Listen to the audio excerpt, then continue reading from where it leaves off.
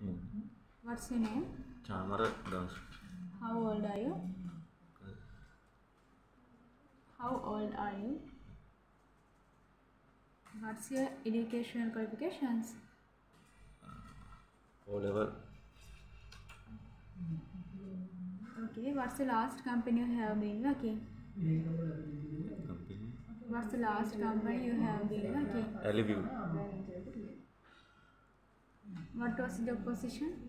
Uh, Aluminium fabrication. How long have you been working there?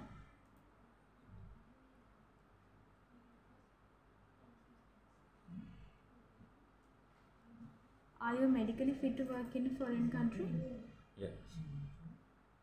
Do you prefer working independently or with a team? Team.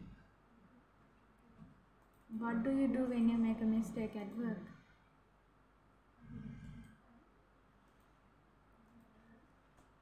Okay, how many hours you can work per day? How many hours you can work per day? Eight. Okay, thank you.